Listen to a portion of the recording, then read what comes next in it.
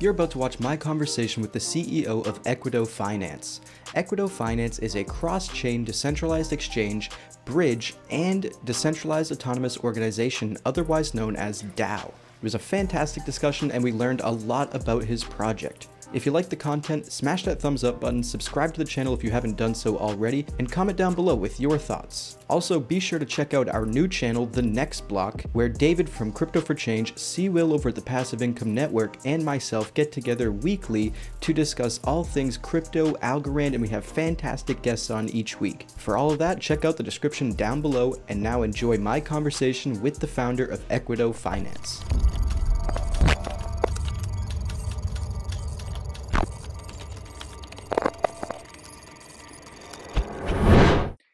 All right, we've got Paolo with us from Equito Finance. Equito Finance is a cross-chain decentralized exchange, bridge, and DAO being built on Algorand. I appreciate you taking the time out of the, out of your day to come on the show, Paolo. I appreciate being here and being invited by you. So. Of course, no, it's fantastic. I'm happy to get into it. Uh, so let's just start off with what is Equito Finance and what is your role within it? Equito is a is a name and DEX built on Algorand, and uh, we used the custom formula that was brought on by uh, by Uniswap, and uh, we applied to our DEX.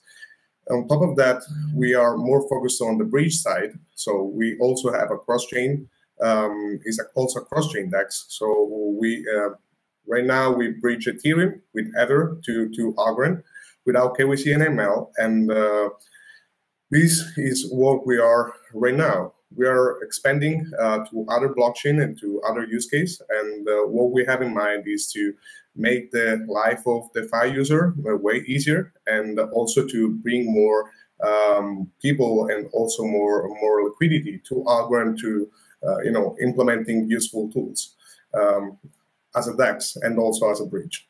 Of course, and, and, you alluded to it a little bit, but uh, I want to ask: How does the cross chain work? You know, so how does the cross chain between Ethereum and Algorand work, and what other chains is Equito Finance focused on after uh, after they secure the uh, Ethereum and Algorand bridge?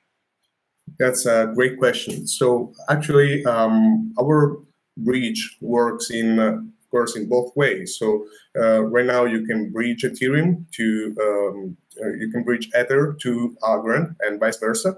And um, we, we check if uh, we have two vaults on uh, each one, one of it on Ethereum and one on Algorand. And um, we have an internal system that check if the transaction went through the, um, through the vault.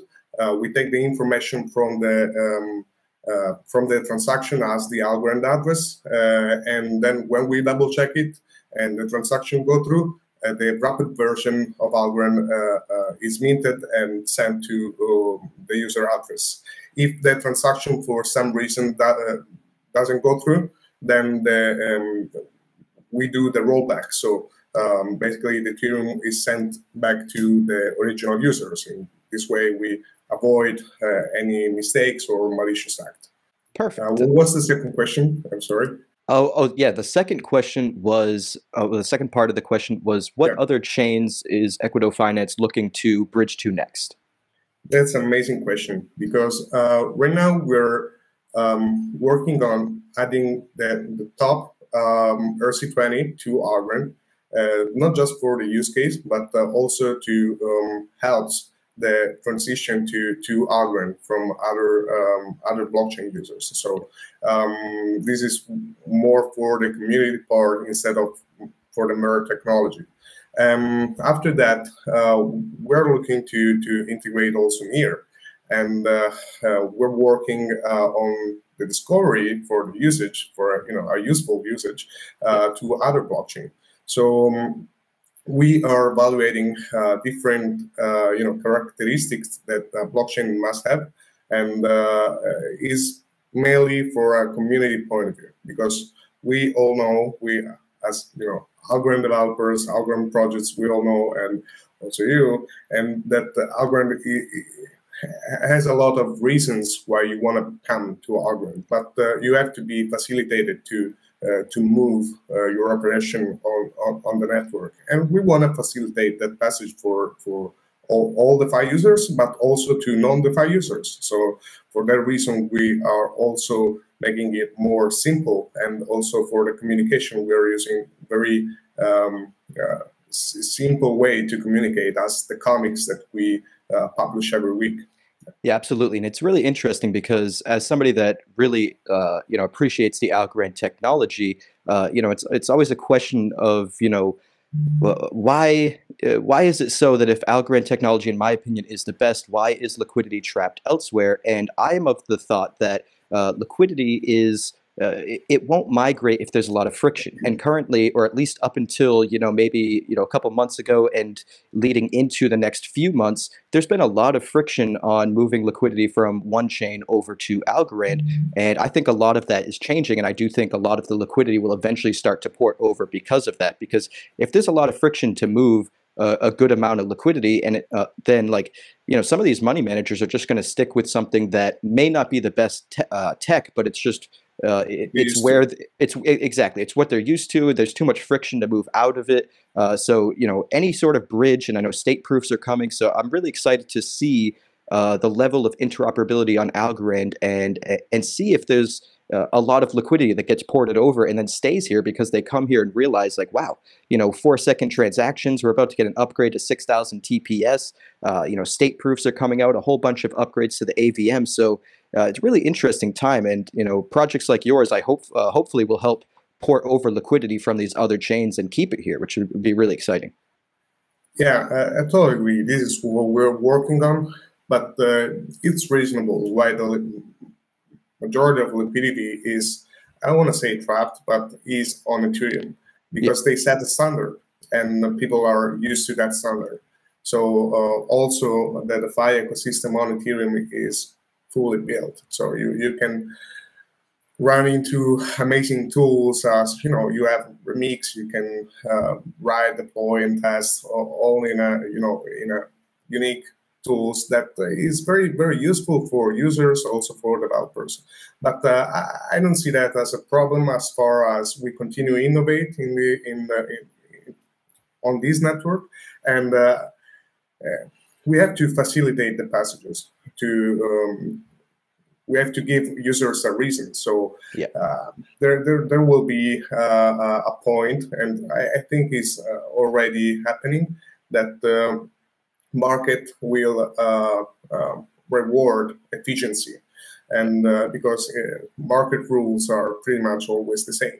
So efficiency is always rewarded. And uh, Algorand on efficiency has a lot to say. Yeah, I would agree, and that's a good point you make too. That uh, you know you can create the pathway there, but you also have to create the reason to take the pathway there, which I, I do think is being built out currently. But I, I, think that's a fantastic point to make. Uh, so Equito Finance is currently in testnet. Could you illuminate us on how that's going so far? Yeah, absolutely. Uh, so uh, we're actually on the second version of the testnet. Uh, we launched the first testnet on May. Then we uh, also hit with this bear market, and but we continue innovating. We continue fixing the previous issue that and bugs that we uh, found on the testnet. wasn't major ones, but it was due to you know work on it and deliver uh, a fixed testnet to, to user, and we're still fixing things. So uh, so far we launched the testnet the, uh, on August 1st. Uh, so far we have over 2,400 uh, participants, and um, the testnet will will end probably around the 20, 21, so third week of, of August.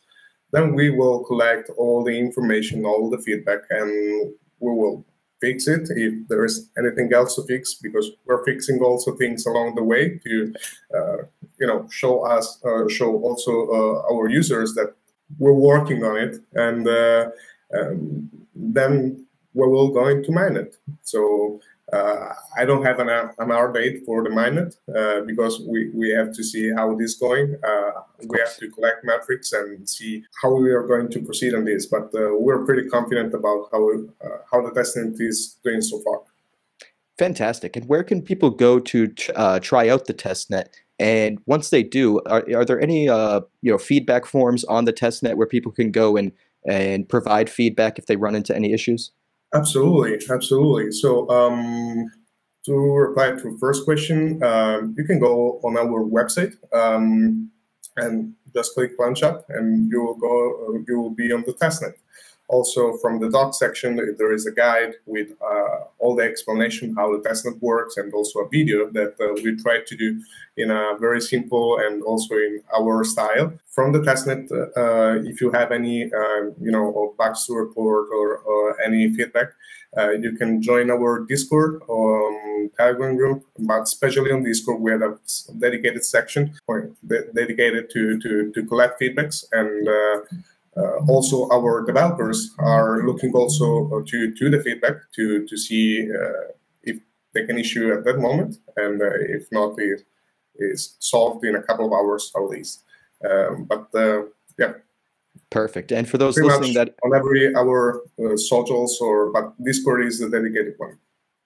Awesome. And for those listening that website is equitofinance.com uh, so is there going to be a token that goes with the project? Are you planning mm-hmm. a uh, you know token generation event sometime during mainnet?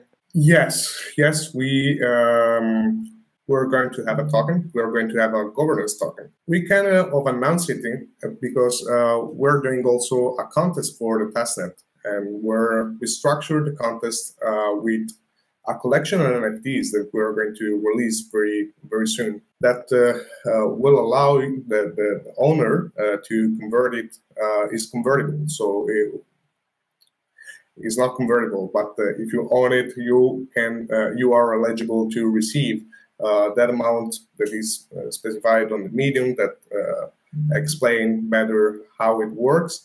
Um, our token when it's when it's launched. So to get back to the question, yes, we are going to release a um, uh, we're going to release a um, governance token uh, because we're also planning to become a, a, a, decentralized autonomous organization. So we're going to be a, a DAO, and the token holder will have all the rights that uh, um, you know to, to run actually the DAO. So if you are um, a token holder and uh, every other services that is uh, built on top of of uh, I wanna I don't wanna say that the you know there is a, this inflated word ecosystem, but uh, um, in Equito in the Equito services uh, as the bridge, as the stable swap, as you know all the other services that we are going to to add, um, you can vote, uh, you can make proposal, you can vote on proposal, but also you receive part uh, the 70% actually, because the, the rest of the 30% of total fees are reallocated um, into pools and into um, incentives. And uh, so you actually earn from, from, from being a part of the Equito DAO. Are there any plans to potentially add derivatives trading to the cross-chain DEX in the future? Yes, why not? We are not uh, um, we're not, not uh, we're um, you know we're open to uh, to see uh, what tools are better to uh, not just our vision but also to from a user perspective. Uh, there is things that i want to um, underline that uh, we we don't want to build everything from scratch what we are looking for is to create cooperation in the ecosystem, and not just in Algorand, but also with other chains and also with other projects, because there's a lot of value out there, and uh, we're not that. Uh, uh, you know, we, we can build everything by ourselves, and uh, yeah. Uh, we can be a collector of services. We can be, uh, you know, it will benefit all the entire ecosystem to to you know be focused on what we're doing and uh, if everybody does that and we can offer a better solution to users uh, i will i think it will benefit the, the, entire you know not just the the algorand defi but uh, in general the, the crypto the crypto industry so Equito Finance plans to use pricing data from Goracle, an Algorand native Oracle service. Uh, aside from this partnership, are there any other partnerships or collaborations users can expect in the future? I was just, uh, as I was saying before, uh, we're open to uh, collaborate with uh, a lot of projects uh, if are in line with the vision that we want that, that we have. So that is to create a fully decentralized but also uh, democratic market where basically everybody can access to it and can contribute and can be a part of it. So um, yeah, um, we're planning other other partnership um, also with other projects on other chain. And uh, the, the one with Algo Oracle, uh, we're not using that the data feed yet uh, because um, right now, uh, at first, we're on, on testing, and yeah. Uh, um, but we will implement it. And uh, we also have a, a, partnership with Algo NFTs, Algo X NFTs, the marketplace, that is just great and is where we are going to uh, issue all our collections. Uh, we're going to publish the, the collections. But uh, yes, fantastic. There, there will be other partnership here. Yeah, they're a great service too. They, they aggregate all sorts of uh, fantastic uh, statistics and metrics in the NFT space in Algorand, which is uh, really great to go look at if you're trying to understand the growth of the NFT space, which has which has been tremendous on Algorand. But that's a that's a topic for another day. Uh, you know, what has been the biggest hurdle building out this project? The, the biggest, I'm sorry. Yeah, what has been the biggest hurdle? Like, what has been the uh, what has been the toughest part about building out the project? Ah, okay, okay, uh, thank you. Uh, I'm still Italian, so maybe I oh, that's okay. That's totally fine. Okay, so um, I think was starting because uh, you know, as I say, uh, I'm 22. I'm turning 23 this Sunday, and uh, I'm working actually on Equito uh, for the last three and a half year. And it wasn't a DEX, it wasn't a breach uh, at the beginning. So I, I, I, had a lack of credibility and experience uh, in front of me.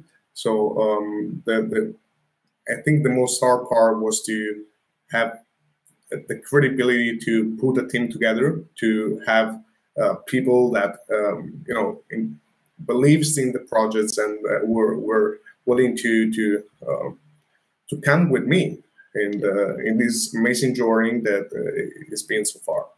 And for for the rest, I think uh, uh, developing an on, on Algorand is not uh, a problem, and from, from from the ecosystem point of view, I kind of see uh, that uh, there are a lot of you know all relationship for the first I want to say uh, is from the first projects that were present on Algorand for a long time, and um, they've seen all the you know the development of the ecosystem.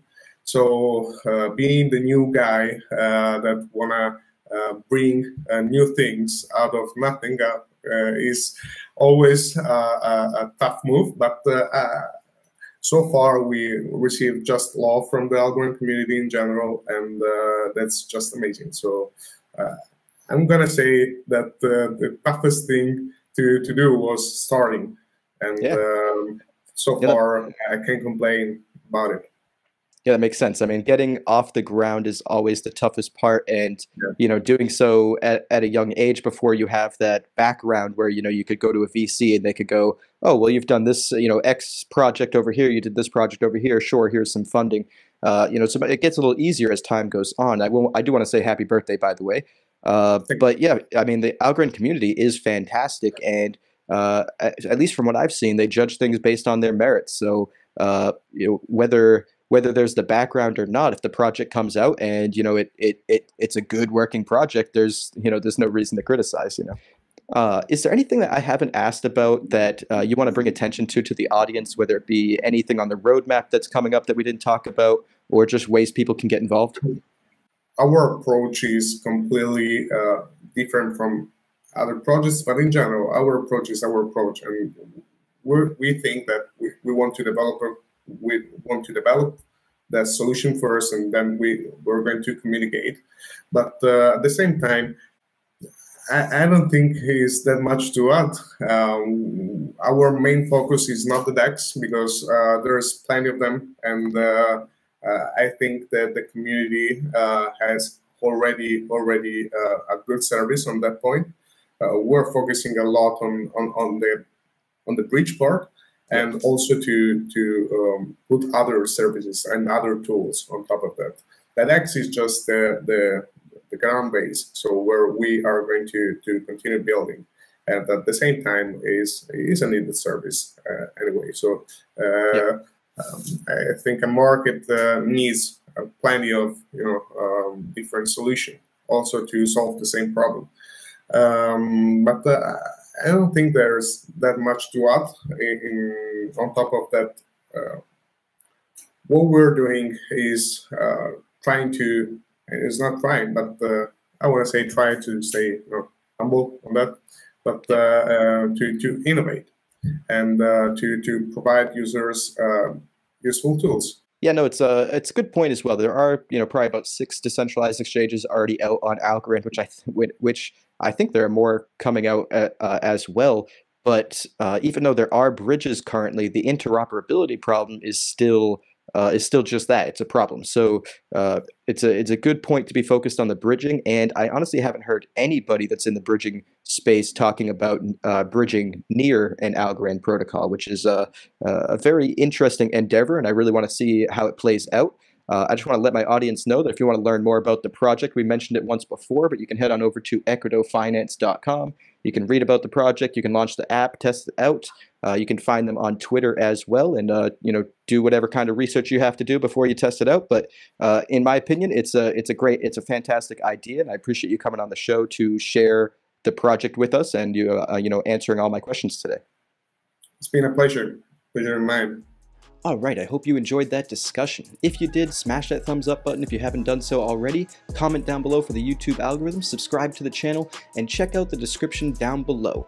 Us over at the Next Block channel, which you should already be subscribed to, are trying to get to Dubai for Algorand's annual Decipher conference. We want to bring you on-the-ground coverage, we want to interview all the esteemed guests at this conference. The Decipher conference is usually where all of the vital Algorand information comes out of, so if you want on-the-ground coverage of the Decipher event, check check out the description down below for ways that you can help get us there. And I appreciate everyone that stayed to the end of this video. We'll catch you in the next one. Thanks.